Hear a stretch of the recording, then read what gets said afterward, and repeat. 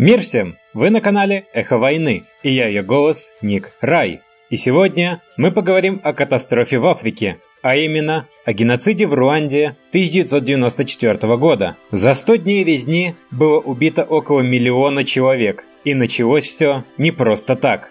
Как кофе повлиял на этническую ненависть? Почему Францию попытались назначить виновной, хотя Руанда – это бельгийская колония, Каким образом он в очередной раз доказал свою несостоятельность миротворца? Давайте разбираться.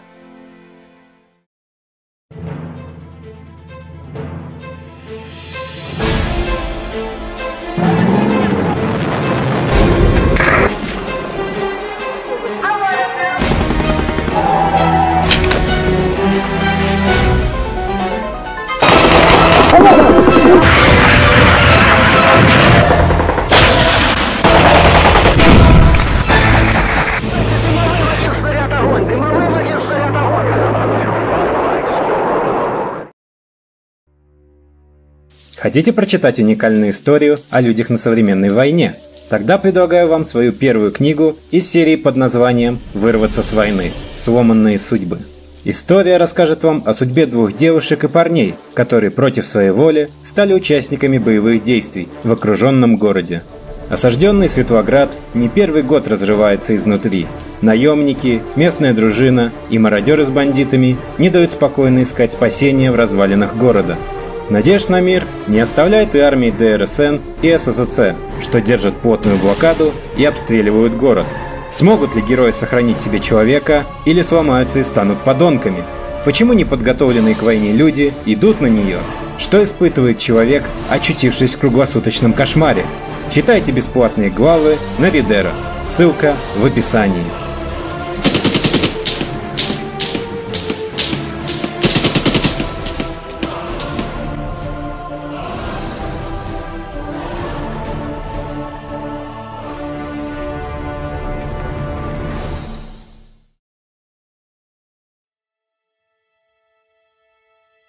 Начать историю следует с 1933 года. По результатам Первой мировой войны колонии Германии, в том числе и Руанда, отошли под протекторат Бельгии. В 1933 году бельгийцы решили провести регистрацию местного населения по расовому признаку. Бельгийцы предлагали жителям самим определить, кто они.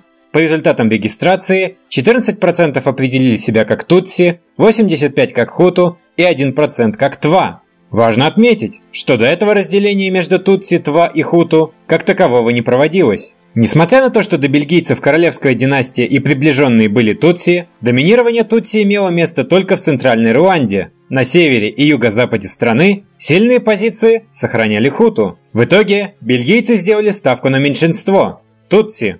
Была установлена монополия для Тутси на занятие административных постов – а католическая церковь стала проводить дискриминационную политику при приеме детей хуту в католические школы. Таким образом, получилось разделение на господ Тутси и плебеев хуту. Однако, в 1950-х годах в рамках процесса по деколонизации хуту создали несколько партий. Партия движения за эмансипацию Бахуту или Пармехуту, а также Ассоциация за социальную поддержку масс – была выстроена идеологическая теория, что тутси – это завоеватели, которых поддержали бельгийцы, чтобы угнетать простое большинство – хуту. Руководствуясь данной теорией, планировалось сместить тутси с экономических, политических и прочих важных сфер жизни в Руанде. Однако тутси не считали себя коллаборационистами и завоевателями и не были готовы стать угнетаемым меньшинством и создали свои партии, Национальный Руандийский союз Руандийское демократическое объединение. В отличие от Бурунди, где функцию фигуры общенационального масштаба выполнял принц Луи Рвагасоре, в Руанде не было значимого человека, способного примирить стороны или встать между ними, пресекая национальные притеснения. Первая межэтническая стычка, сопровождавшаяся насилием, произошла в 1959 году во время социальной революции,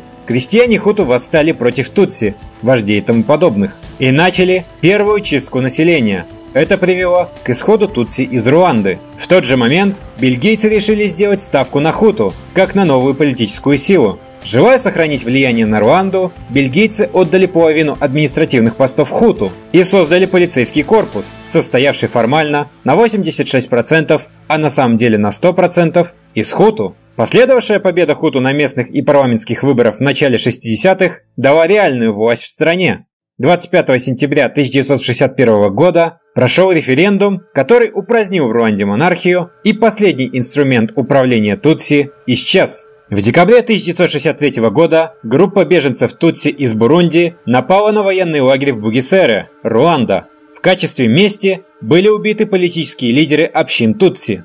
В 1964 году официально были запрещены любые партии Тутси. Так, фактически, в Руанде конституционно была декларирована новая власть – власть Хуту. В 1970-х годах была введена 9% квота для Тутси на обучение в школах и университетах, в госаппарате, в промышленности и даже частном бизнесе. Вместе с этим Тутси не могли стать офицерами в армии, а солдатам Хуту запрещалось вступать в брак с женщинами Тутси. Также был введен закон, ограничивающий смену места жительства для руандийцев, что помогало следить за перемещением населения Хуту и Тутси. Но самым важным, еще до возникновения радио «Тысячи холмов», был запуск пропаганды против Тутси. Для примера, в одном из памфлетов партии Пармихуту были следующие строки. «Власть Тутси – это причина всех бед, которые испытывали Хуту испокон веков». Результатом политики исключения и периодических чисток среди Тутси стали следующие цифры. Если в 1952 году на территории Руанды община Тутси составляла 17,5% от всего населения, то к 1991 только 8,4%. На некоторое время наступило затишье. Это было обусловлено высокими ценами на главный экспортный продукт Руанды – кофе. Деньги, как обычно, распределялись среди элит, но остатков было достаточно, чтобы население Руанды поддерживало правительство. Для позитивного имиджа Руанды в глазах других государств президент Руанды Хабьяримана Жувеналь дал Тутси один пост посла, один пост министра и два поста депутата парламента. Однако, несмотря на то, что Тутси не имели силы в Руанде, благодаря беженцам Тутси в 1987 году в Уганде был создан Руандийский патриотический фронт – РПФ – его целью было возвращение беженцев Тутси в Руанде и вооруженное противостояние националистической политике Руанды. В конце 1990 года 4000 бойцов РПФ атаковали Руанду, но вмешались Бельгия, не желавшая терять контроль над Руандой, Франция, хотевшая усилить свое присутствие в регионе, и Заир, нынешняя Демократическая Республика Конго, старавшаяся сохранять удобное правительство Руанды. Прямое военное вмешательство помогло оттеснить РПФ в пограничные районы, однако беда уже наступила. В Руанде в связи с мировым обвалом цен на кофе наступил тяжелый экономический кризис. Денег не хватало даже для элит, не говоря уже о простом народе. Усугубляло положение то, что в Руанде была, а возможно и есть сейчас, демографическая проблема. В Руанде самая высокая плотность населения во всей Африке. Доходы крестьян в связи с кризисом упали вдвое а в стране наступила засуха. Теряя доверие населения, правительство решило разыграть этническую карту. Практически сразу после вторжения РПФ в Кигале, столице Руанды, и окрестностях были арестованы тысячи человек. Арестовывали за малейшее подозрение в симпатии к РПФ. Заключенных согнали на стадион Кигали и удерживали, по данным Руанды на 1991 год, 8047 человек – 75% из них были тутси, и не только обычные жители, но и бизнесмены, врачи, учителя и так далее. Под давлением западных стран на свободу выпустили около 3000 человек, которых ранее ни в чем не подозревали и не судили. Остальных же потом судили, приговорили к смертной казни, но вскоре заменили на пожизненное заключение. Вскоре после этого начались новые погромы Тутси. В Гисенье местные хуты устроили самосуд над 300 тутси, заставив более тысячи оставить свои дома. В конце января 1991 года в Рухенгере полиция, военные, чиновники и гражданские хуту организовали акцию возмездия, убив свыше 300 багогве под группы Тутси. Тем не менее, РПФ медленно, но верно продвигался на границе вглубь Руанды. Благодаря пропаганде, которые рассказывали о зверствах повстанцев, многие хуту бежали в центральную часть страны, Число беженцев приблизилось к 300 тысячам человек. Действия президента вызвали всплеск активности оппозиции, которая вскоре потребовала создать коалиционное правительство. Президент противился, но после массовых демонстраций 1992 года, организованных 16 оппозиционными партиями, Хабьяримана начал переговоры. Среди экстремистов это расценивалось как предательство народа, и те провозгласили себя защитниками Руанды, требуя объединения всех хуту против тутси, которые хотят захватить власть с помощью силы и насилия. Однако 12 марта 1992 договор был заключен и создано коалиционное правительство с оппозицией, которое быстро начало заполнять госаппарат сторонниками и давить на правящий режим. После наступления РПФ в 1992 году коалиционное правительство прибегло к переговорам с РПФ, так как в центральную часть страны бежало еще 350 тысяч хуту. Последующие события можно описать так. Переговоры с РПФ, которые вызвали недовольство среди военных и привели к массовым демонстрациям, но которые были завершены подписанием Оружского соглашения. Его суть была в создании многопартийного временного правительства с участием РПФ, мониторингу соблюдения прав человека, а также реформу законодательной, судебной и исполнительной ветвей власти. 16 декабря переговоры в Аруже возобновились и привели к заключению 9 января 1993 года окончательного соглашения о создании Временного правительства и Временного парламента. Недовольные таким соглашением, сторонники правительства проводили акции блокировки дорог и вступали в стычки с оппозицией, из-за чего пришлось вводить комендантский час в Кигали. В свою очередь, сторонники правительства напали на оппозицию и Тутси, убив около сотни человек. 29 апреля в Аруше на очередном раунде переговоров РПФ потребовал прекратить насилие, угрожая отозвать своих представителей. С таким же требованием обратились страны ЕС. 31 января оппозиция устроила в Кигале 50-тысячную демонстрацию с требованием прекратить этнические и политические чистки. В ответ на это президент Хабьеримана инициировал созыв межпартийной национальной конференции и создание политического фронта всех партий Хуту против РПФ. В начале февраля вновь возобновились гонения на Тутси, и за неделю число жертв достигло 400 человек.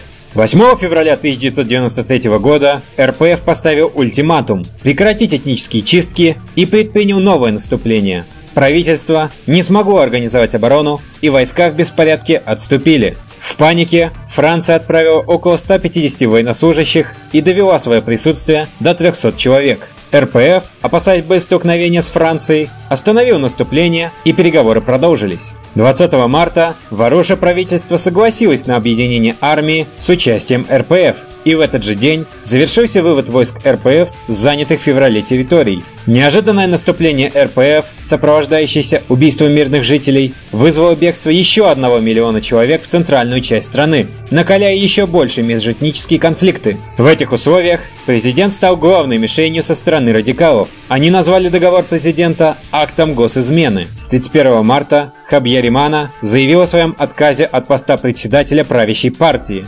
Политическая поддержка правящей партии стремительно прекращалась. Загнанная партия прибегла к наиболее радикальному способу решения проблем – довести до критического градуса межэтнический конфликт, выставив врагами всех тутси, а также всех хуту из оппозиции, как помощников РПФ. Обострялась обстановка и тем, что согласно Оружскому договору должна была произойти реорганизация армии. Этот пункт означал, что армия, доведенная с 10 тысяч до 40, подвергнется увольнениям и две трети останется безработными, так как никаких программ переподготовки уволенных не предусматривалось. В то же время тутси, которых было около 15% от населения Руанды, давали половину всех мест в армии. Даже умеренные хуту считали этот пункт несправедливым, не говоря уже о военных. При этом давление западных кредиторов, таких как Франция, и оппозиционных политиков хуту с целью добиться демократизации страны вызвали ровно противоположный эффект – обострение у этнократической системы инстинкта самосохранения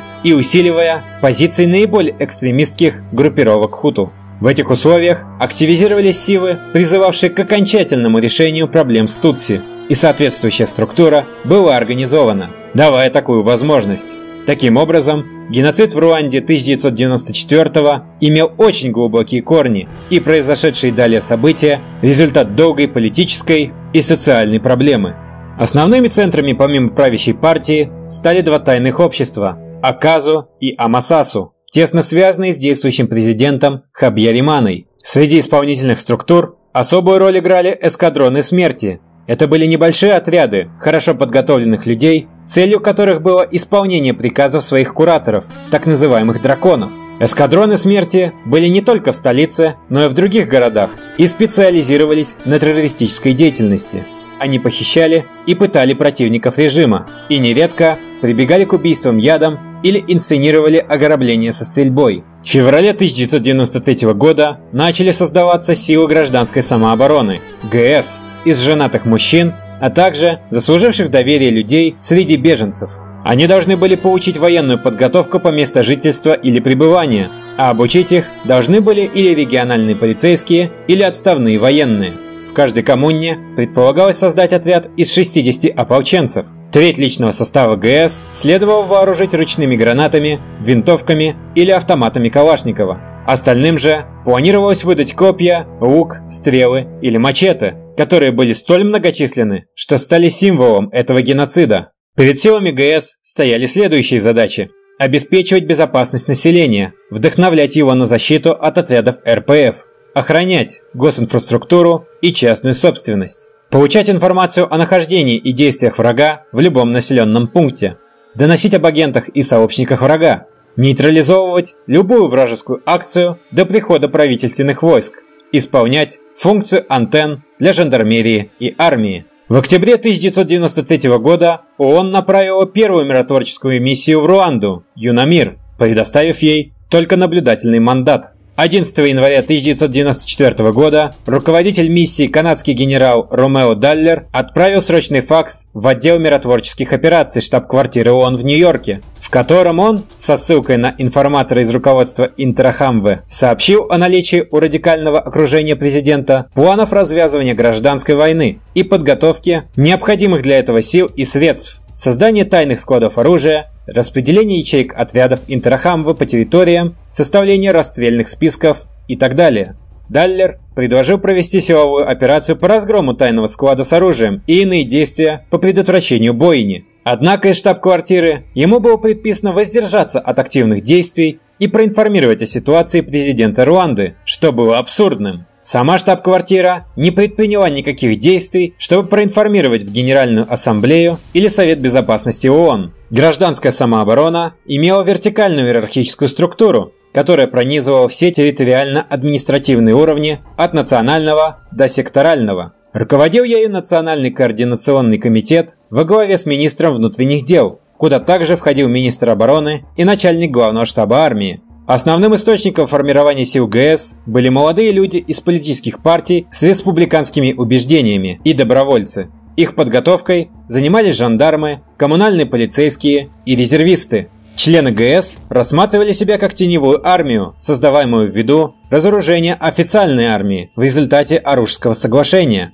Система ГС позволяла Амасасу и Аказу координировать деятельность всех боевиков Хуту и осуществлять массовую военно-политическую мобилизацию гражданского населения.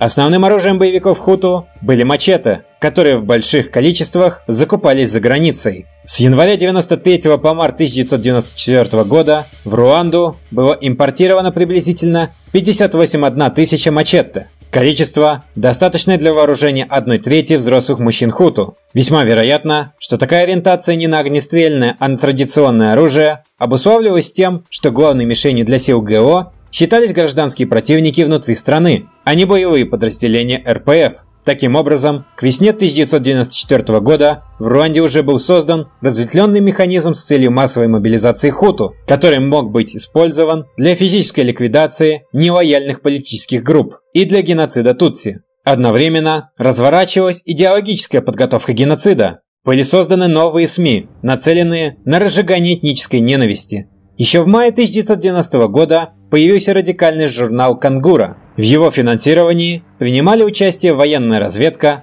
а также ряд деятелей правящей партии. Основным и наиболее популярным медиа в Руанде было радио. В 1991 году около 29% домохозяйств имели радиоприемники. В некоторых районах еще до геноцида правительство бесплатно распространяло радиоприемники среди местных жителей. Жители, не имевшие их, ходили слушать радиопередачи к своим соседям и знакомым, либо в бары. Как выразился Даллер, Руанда была известна как страна радио. В некоторых деревнях радиовещание воспринималось как голос Бога.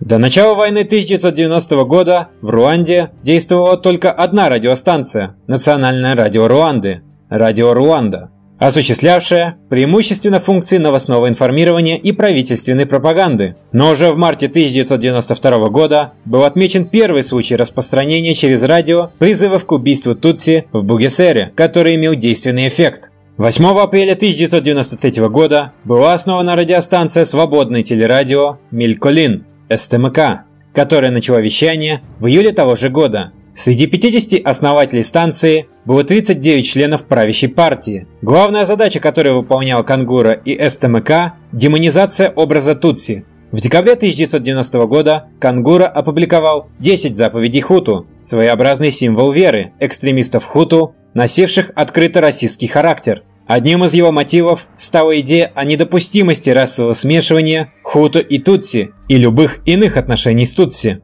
Ключевые посты – политические, административные, экономические, военные и в органах безопасности, говорилось там, должны доверяться только Хуту. Вооруженные силы Руанды должны состоять исключительно из Хуту. Кангура внушал читателям мысль, что Тутси готовят геноцид Хуту, причем такого масштаба, чтобы не осталось выживших. Журнал уверял, что Тутси – истинные правители Руанды.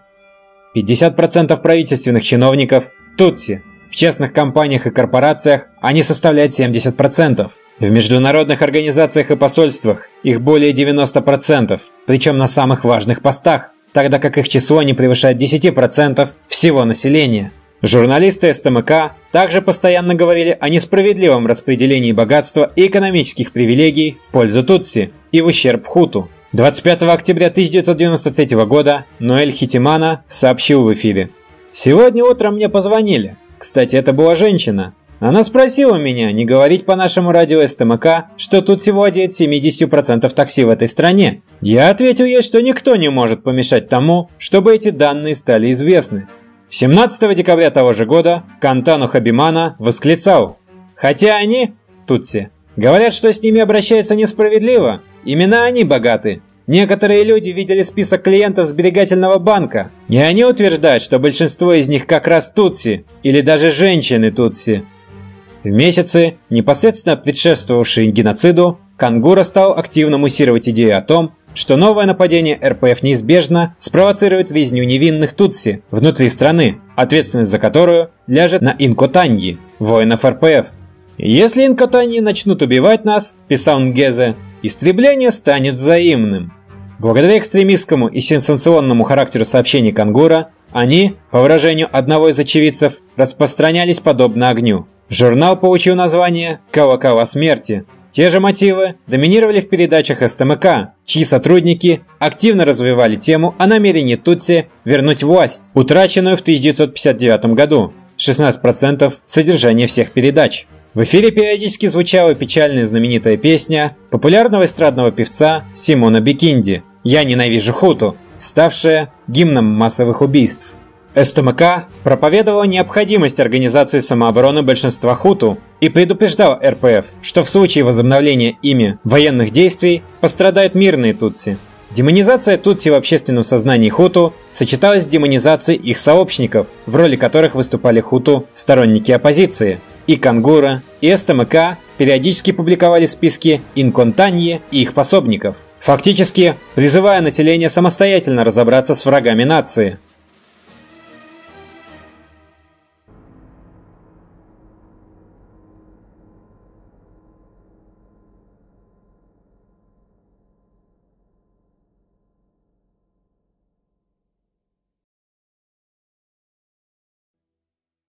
Также невозможно не отметить радио Тысячи Холмов, оно же радио ненависти, которое также накачивало население ненавистью к Тутси. Учитывая недостаточную радикальность официального радио Руанды, представители движения «Власть Хуту» в 1993 году решили создать свою радиостанцию. Поддержку ей оказывал президент Руанды Хаби Аримана и близкие к нему лица, Одним из ее основателей стал Фердинанд Нахимана, бывший университетский профессор и руководитель руандийского правительства Бюро информации и вещания, Аринфор, ответственного за регулирование СМИ. Human Rights Watch выделила основные идеи, которые были использованы в пропаганде для нагнетания ненависти и подстрекательства геноцида.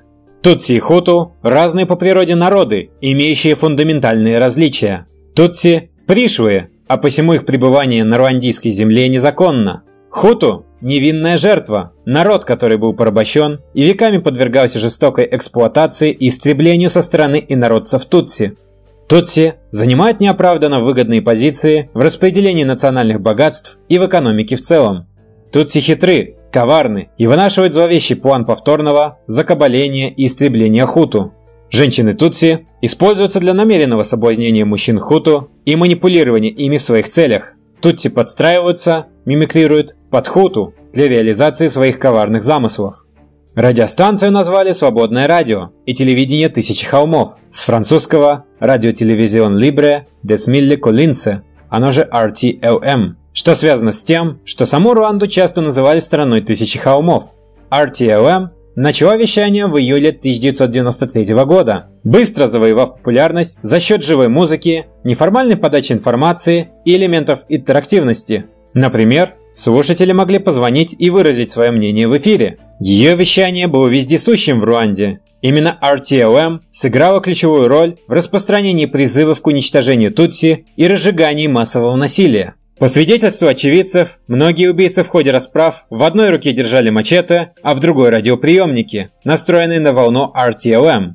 Проведенный кенийским исследователем Мэри Кимани контент-анализ записей радиопередач RTLM установил, что транслируемые подстрекательские сообщения радиостанции включали в себя обвинения в зверствах, творимых участниками РПФ 16,32%, побуждение хуту к насилию и убийствам 13,99%. Прямые призывы к уничтожению врага 9,16%. Обвинение руандийских тутси в пособничестве внешнему врагу 7,05%.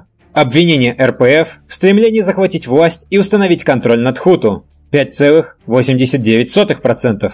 Оскорбление Тутси и РПФ 4,89%. Лишь 13,21% трансляций не содержали разжигающего ненависть контента. Подавляющая часть радиотрансляций выходила в формате монологов радиоведущих RTLM 66,29%, среди которых большую часть эфирного времени занимали Кантану Хабимана 33,51%, Валерий Бамерики 16,88%, шеф-редактор Гаспард Гахиги 14,72% и политический обозреватель Анани Нкурундзиза 10,65%. В своих трансляциях радиостанция RTLM использовала резкий, дегуманизирующий язык. В частности, для обозначения тутси применялся презрительный термин инуэнзи – тараканы, а одним из фраз символов стало выражение «могилы еще не заполнены». Таким образом, подготовка геноцида достигла к весне 1994 года своего пика. Оставалось только нажать на курок. Таким нажатием курка стал обстрел и уничтожение самолета, которым президент Хабьяримана вместе с сопровождающими его лицами возвращался с саммита региональных лидеров в Дар-эс-Саламе, столицу Танзании. Кто стоял за убийством президента, РПФ или, что гораздо более вероятно, радикальной крыло правящей партии, до сих пор до конца не выяснено. В этот же день начался геноцид. Солдаты, полицейские и ополченцы быстро расправились с ключевыми военными и политическими фигурами как среди Тутси, так и среди умеренных Хуту, которые могли бы заполнить образовавшийся вакуум власти. Соорудили КПП и баррикады и приступили к массовым убийствам Тутси, национальность которых устанавливали по документам. Организаторы геноцида призывали и принуждали хуту вооружаться с целью насиловать, избивать и умерщвлять соседей Тутси, уничтожать и присваивать их имущество. Разрыв мирного договора побудил РПФ возобновить наступление. В скором времени он занял северную часть государства и к середине июля захватил Кигали, и массовые убийства прекратились. ООН, США, Великобритания и Бельгия подверглись критике за бездействие, в том числе за неспособность усилить миссию ООН по оказанию помощи Руанде и расширить ее полномочия. Франция обвинялась в поддержке властей Руанды после 6 апреля. Геноцид оказал значительное влияние на Руанду и граничащие с ней страны. Массовые изнасилования вызвали всплеск заболеваемости СПИДом. Уничтожение инфраструктуры и значительное число жертв имели тяжелейшие последствия для экономики. Победа Руандийского патриотического фронта вынудила многих хуту бежать в соседние страны. Многие из них обосновались в восточных районах Заира, ныне Демократическая Республика Конго, где радикалы использовали лагеря беженцев близ руандийской границы как плацдарм для возвращения к власти. Масштабы и жестокость геноцида поразили страны во всем мире, но никто не вмешался, чтобы силой остановить убийство. Большинство жертв были убиты в своих деревнях или городах. Многие из них были убиты их соседями и односельчанами. Банды хуту искали жертв, прячущихся в церквях и школьных зданиях. Ополченцы расстреливали жертв из винтовок и резали мачете. Сексуальное насилие было широко распространено. По оценкам, во время геноцида было изнасиловано от 250 тысяч до полумиллиона женщин. Геноцид имел длительные и глубокие последствия. В 1996 году правительство Руанды под руководством РПФ начало наступление на Заир, где проживают изгнанные лидеры бывшего руандийского правительства и многие хуту-беженцы, начав первую войну в Конго и убив около 200 тысяч человек. Политика Франции в Африке не раз становилась объектом критики со стороны исследователей. Понятие «Франц-Африк» подразумевало особые отношения Франции с бывшими колониями путем установления экономических, политических и других отношений, часто неформальных. Ситуация начала меняться в 1990-е годы. Изменился не только международный и внутренний контекст, но и сам характер этих отношений. Одним из важнейших событий, повлиявших на изменение политики Франции в отношении стран Африки, стал геноцид 1994 года в Руанде. По мнению командующего миссии ООН по оказанию помощи Руанде, генерала Ромео Даллера, США, Великобритания и Франция не могут отрицать тот факт, что им было известно о планируемом насилии в Руанде. Однако никаких шагов по его предотвращению они не предприняли. Франция не только поставляла оружие боевикам Хуту, но и выступала в Совете Безопасности ООН за снижение количества миротворцев в стране. И хотя Руанда не была французской колонией и формально не входила во франко-африканскую семью, События в этой стране стали своего рода водоразделом, когда вмешательство Франции в политику африканских стран подверглось жесткой критике со стороны международного сообщества. Известно, что Франция не только оказывала поддержку президентскому режиму Жувеналя Хабиариманы в 1990-94 годах, но и покинула страну вместе с другими европейскими державами, эвакуировав своих граждан, когда начался геноцид. Операция «Бирюза» Тюргуаси, проводимая Францией летом 1994 года, с одобрения ООН и призванная создать безопасную зону для беженцев на юго-западе Руанды, на деле позволила преступникам, виновным в совершении геноцида, сбежать в Заир. Несмотря на то, что по подсчетам французов в ходе этой операции им удалось спасти от 15 до 17 тысяч человек, в отчете Национальной комиссии Руанды по борьбе с геноцидом данная операция представлялась как попытка спасти правительство и экстремистов Хуту. В 2006 году Руанда выступила с намерением разорвать дипломатические отношения с Францией, так как во Франции было подписано 9 ордеров на арест руандийских официальных лиц по делу о нападении на самолет президента Хабиариманы в апреле 1994 года, включая ордер на арест действующего президента страны Кагамы. Данный шаг Франции возмутил руководство Руанды как вмешательство во внутренние дела государства. Руанда инициировала собственное расследование авиакатастрофы и в 2008 году обнародовала отчет, в котором подчеркивалась роль Франции в готовящихся массовых убийствах. Французский язык был лишен государственного статуса, и его преподавание в школах было приостановлено. В 2008 году в Руанде был принят закон, призванный бороться с идеологией геноцида во всех ее проявлениях. По сути, данный закон запретил отрицание геноцида и стал первым подобным мемориальным законом на африканском континенте. Отношения между двумя странами были восстановлены в 2009 году, но оставались натянутыми. В 2010 и 2011 годах состоялись визиты президентов двух стран. Сначала президента Франции в Кигале, затем ответный визит президента Руанды в Париж. Однако, по данным официального сайта Министерства иностранных дел Руанды, у Франции не было аккредитованного посла в Кигале с октября 2015 года. Спорным вопросом двусторонних отношений было и то, что на территории Франции скрывались подозреваемые в геноциде.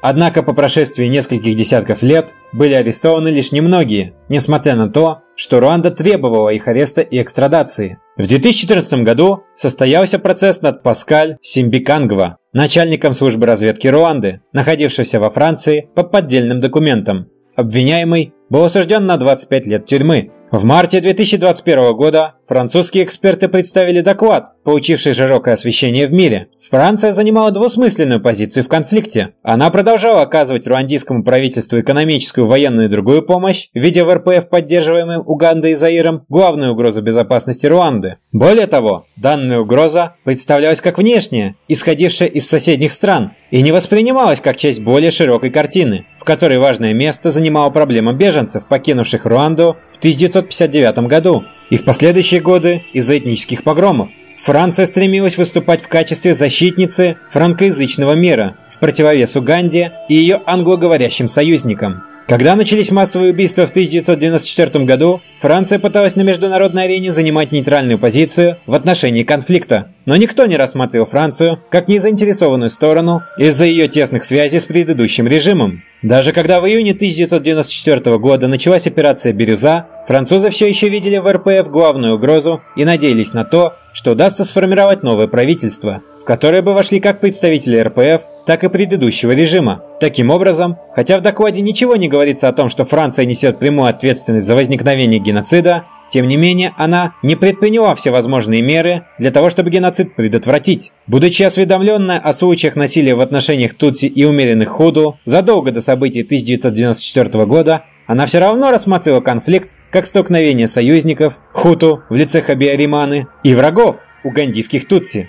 Публикация доклада Дюклера вызвала большой резонанс во французских СМИ. Она отразила весь спектр позиций по поводу африканской политики, оценок действий французских властей, выразив отношение к политике памяти, нанесшей в свое время определенный удар по французскому обществу, и поставив вопрос о причастности страны к одной из жесточайших трагедий 20 века.